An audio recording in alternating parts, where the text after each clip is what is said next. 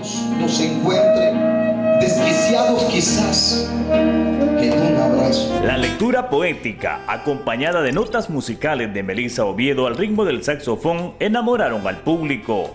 En coordinación con el Comité Ciudadano, la Casa de la Cultura del municipio de Santiago de María celebró el cuarto café literario nominado Una historia y dos versos. Tratando siempre de fomentar la lectura en, en los jóvenes. El periodista y escritor Romeo Molina desarrolló el lanzamiento de sus dos nuevos libros basados a anécdotas de la vida mediante poemas y una novela. El llanto de los pájaros y La puta de Sánchez, un drama que de la vida muy fuerte que sin duda va a tocar a, las personas que lo lean.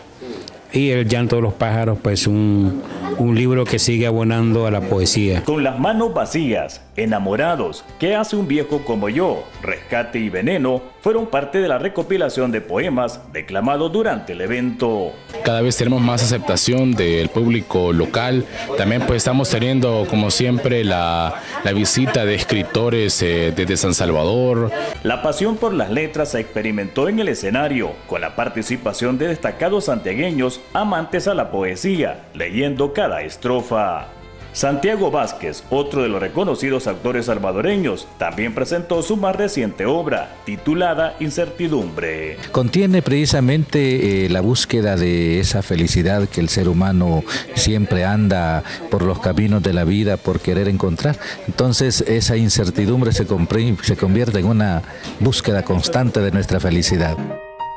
El sonido de las teclas del piano también se sumaron a la interpretación de las clásicas melodías que ponían la emoción junto a la lectura. Hasta que un día se fue a montar en su piscucha y con un río de lágrimas besó con mis manos. Este es un informe de televisión santiagueña. Charlie Chévez, Telenoticias 21.